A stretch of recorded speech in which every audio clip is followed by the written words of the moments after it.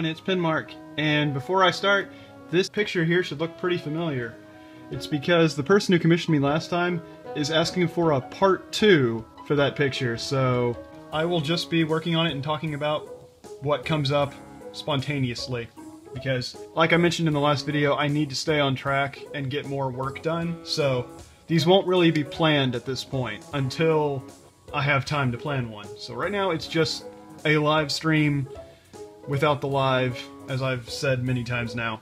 But, alright, so jumping right in. I am pulling up references, as you can see here, because I always need some reference to look at. It helps. It helps a lot. And as you can see, I have so many folders, and I try to keep everything organized. I'm not the most organized person, but I try to keep track of at least these art projects. Now, I'm adding food to this table that you should recognize from before. And one thing I think I can actually bring up right now is this character is going to have uh, some food on the table, and uh, as I'm putting it here, it's kind of hard to see it against all the other objects. So I, one trick I like to do is get a blank color that's that stands up against the rest of the picture and do this. So for that moment, as I paint the object, it's easy to see. And then later on, oh, later on, I can just pull that away and it'll look good. So, yeah. I'm going to be drawing french fries here. Or potato wedges, if you will. Okay. I'll try to zoom in as much as I can, and you get myself in the habit of keeping you guys in mind as I draw. And like I said, I've got a picture here right now that I'm just loosely following. I'm not trying to literally copy it, because that just makes you lazy. Then you're relying on other pictures to tell you what to do, and you don't want that.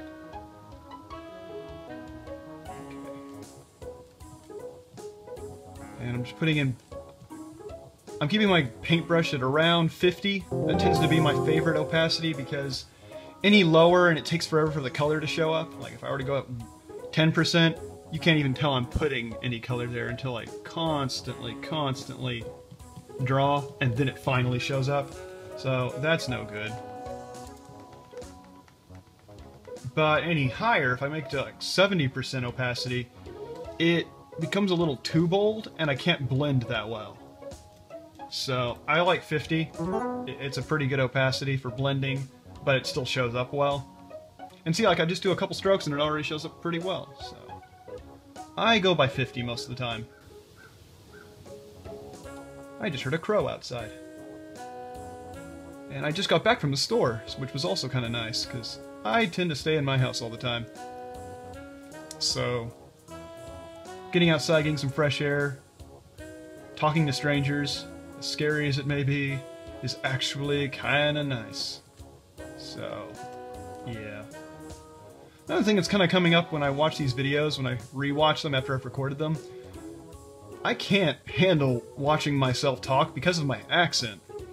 I know it shouldn't be that big a deal, but I don't know. It just occurs to me. I see uh, so many people online who have like the uh, the neutral American accent, I guess is what you, I know there's another word for it, but that's all I can think of right now. And yeah, whenever uh, I hear myself recording, I've just got such a uh, slurred speech. I mean, I'm proud to be who I am. There's nothing wrong with that. But I don't know. Just I hear it and I'm like, ugh, I need to work on that. I need to articulate a little bit better. I mean, unless you guys don't mind it, because, yeah, I'm trying to stay relaxed around everybody when I'm playing these videos, so, well, recording, whatever. And sorry if you hear noisy neighbors. I have a neighbor who likes to work on his car, and he revs that engine a lot, and it's loud. Okay, I'm adding orange into these potato wedges, because they aren't quite yellow. They're, there's more of a orange-brown shade to them. I'll zoom in more for you because I love you guys. Here we go. Now, technically, when looking at the reference, the container holding these potato wedges is a blue basket with white paper. And even though, yes, most people would want to jump straight into bold white, because hey, it's white paper, keeping in mind the atmosphere of the room, white shouldn't show up as a completely, you know, total brightness as white as possible. We want to keep it matching the environment. Like these napkins here were a light blue, but most of it's kind of obscured in shadow. So I'm trying to keep that in mind. Uh, color theory like that with lighting and all that takes a while to get used to. You kind of have to experiment. And I will admit, digital art makes it real a lot easier to change and edit. So I guess there is that advantage. But you know, when actually when it comes to the advantage of digital art, kind of a what is it, a double-edged sword because there's then a higher standard with your digital art. People then expect digital art to be perfect. So, I mean, and it has its own challenges. It takes a while to get good at digital art because, like, eye-hand coordination with a tablet and all that, like, it still has its own challenges, so... And actually, I did see some comments already about a new subject to do, so I will do that as soon as I have the chance. Right now, I have to stick with uh, commissions. Yeah, I'm adding some light colors here. Sorry, I'll zoom in more. There we go. I'm adding some ambient light here, and and that's the thing when it comes to like doing painterly stuff and trying to get lighting right. When you don't have line art, you have to rely on lighting to make objects show up better. So I'm adding some ambient light on the sides of objects because typically you don't have uh, you know the black edge along the object. You have to rely on contrast.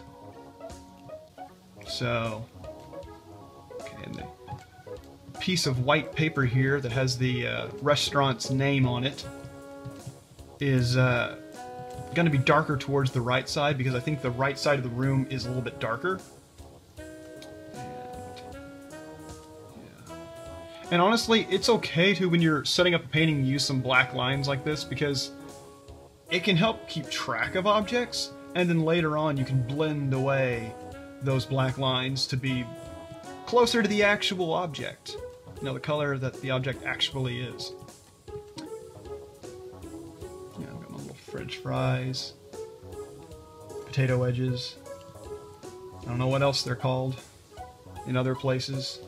But the ones that are further back, I guess, are going to be darker because they're covered up by the other potato wedges. So they'll be a little darker. Yeah. There we go. That's, that's helping. That's helping them show up a bit. Well, I'm about to add some lighting on the edges of these potato wedges because of ambient light and helps them show up a little bit better. And they, they look all crisp and stuff. So that's good. Boop-a-doo. Okay. I don't want to overdo it, and I'll sometimes bring back this, which now I might need to change colors. Just a random color, something that helps it show up. There we go. Maybe a slightly darker shade. Okay. Yeah, I, I haven't really shown that trick yet, but it's really nice. Because now I can easily see my object if I can color on the right layer. Mm, there we go. Yeah. Okay. now I'm adding the ambient light around an object. It's also known as rim lighting. Ha ha, that word. but yeah, it's uh, known as rim lighting because along the edge of the object, the rim of it, you get kind of a how to put it technically. There's just a lot of ambient light from the surrounding objects in the room bouncing off all the other objects. And when it reaches your object along the edge, you get a bit of light. So that's what's going on. And yeah, so there we go. Bit of a shadow being cast from that paper on the basket, so that little tiny corner here is a lot darker right there. And it's technically like a woven pattern in there, so I'm adding like little squares to do the woven pattern. And to make them 3D, I'm gonna add a light color along the edge. It's all about geometric shapes. Like, I can't stress that enough. Like, no matter what you are drawing, or painting, or sculpting, I mean anything really, start with basic shapes. Don't jump in details. Unless you're really comfortable, if you're unsure at all, or you're still trying to figure out how to plan something, especially complicated poses or weird objects, use simple shapes first. Start with circles and squares. It, makes it so much easier. And I guess I'm kind of at a point now where it's not really always circles and squares. It'll also turn into just blobs. But I'm keeping it simple. And that makes it easier to think as I draw. Yeah, that. Okay.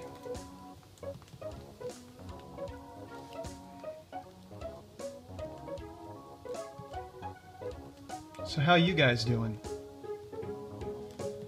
I know some of you in the comments, and I'm just starting to meet others, but I like seeing familiar faces already. Reoccurring faces, that's nice. Anyone new in the comment section? Hello, welcome. You're free to talk. This is a happy zone. You don't have to worry about being cool enough. Because, I mean, look at me.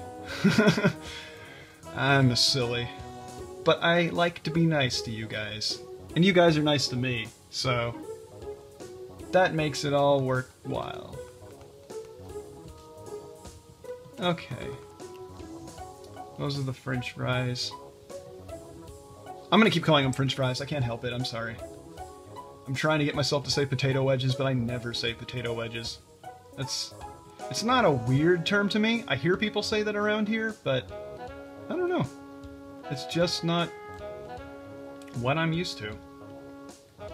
To me, anything that's chopped up potatoes and then fried is french fries.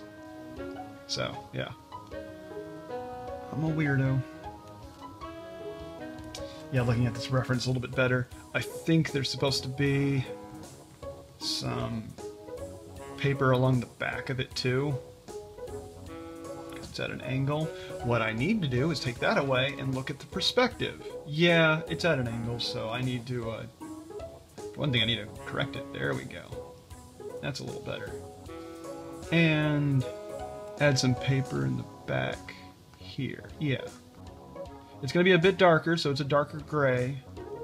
And honestly, most of the french fries are covering it up, so you can't really see it. But I'm matching the perspective just well enough so that you can see you can see the three-dimensional shape of the object. And I guess that's why I always stress the 3D shapes a lot. I know I repeat myself a lot with that, but it just makes everything easier. Because if I think of this as a square, and you get so comfortable drawing 3D shapes that you can draw a square, a cube, I should say. You can draw a cube at any angle. It just makes everything easier. Because then I kind of loosely think of this potato wedge basket as a cube. I just kind of think of it as a rectangular prism. And so when it's a cube, I know how to draw a cube. Cubes are easy. So then this object becomes easy. I'm basically just shading this stuff now, making sure the colors kind of blend. Um, and then I know the logo is kind of a red. I'll take a light red. Yeah, something like that. Mm, let's kind of mute the red. If you want to go for realism, a lot of things tend to be a muted color. And muted just means... Get that really easy for you to see. Oh, it doesn't zoom in. Oh no. Anyway, this is saturated colors, when colors are far on the right here, up in that corner. And then as they get closer to gray, they are getting muted. So that's muted, muted reds, and saturated reds. And that's the same with any color. This just means dark, this means muted. So I'm to go for a muted red, somewhere around there. And that helps it be a little more realistic. So here's the label. The logo. I'll need to check my reference. The uh, commissioner has a specific word they want there, but for now it's a placeholder. I'm putting just the red. Make sure it's in the right place. Make sure I chose the right shade, which I think I did. Looks good. Okay, that's basically what the logo is going to be. So you can see a little bit closer.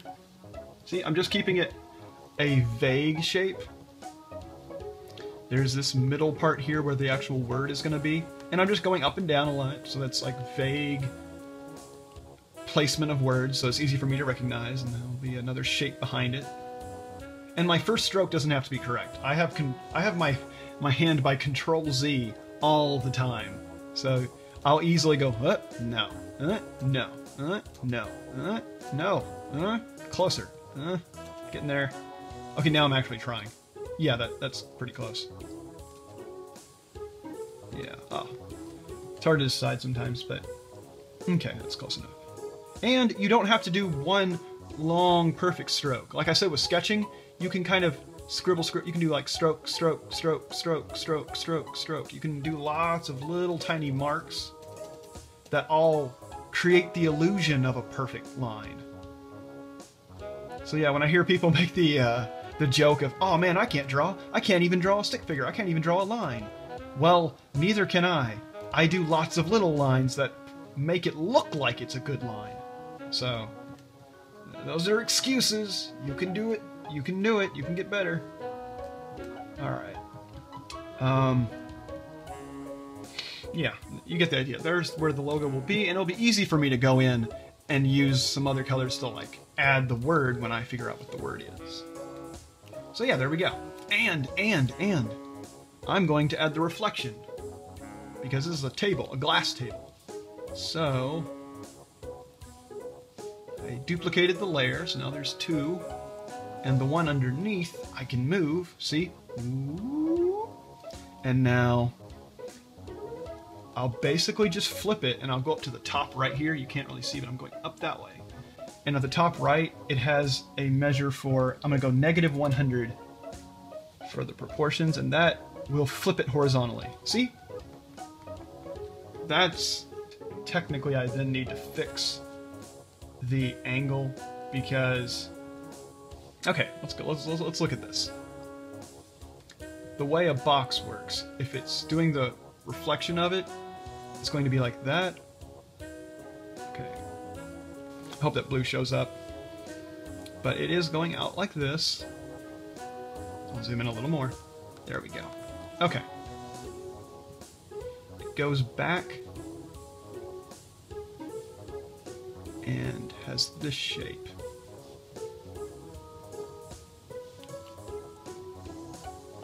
Okay, and the paper. Now, this angle with the potato wedges, we can see inside the basket. But if you think about the reflection, you wouldn't be able to see the potato wedges much. So all we'll get to see of them is just a tiny bit like this barely peeking over the edge. That's all the amount we're going to see. And again, I'm keeping my opacity for my brush up at about 50.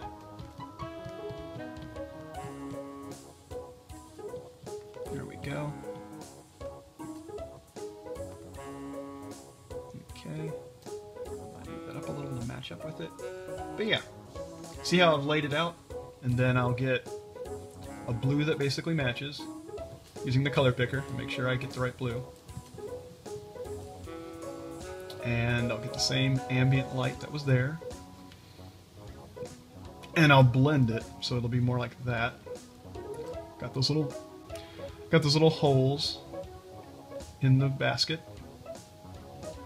And as you can see, I can kind of look at it and go, I think I made that a little too tall, so I'm going to squish it down. There we go, that's closer. Okay. That'll work. And as you can see, I'm then trying to basically reflect it.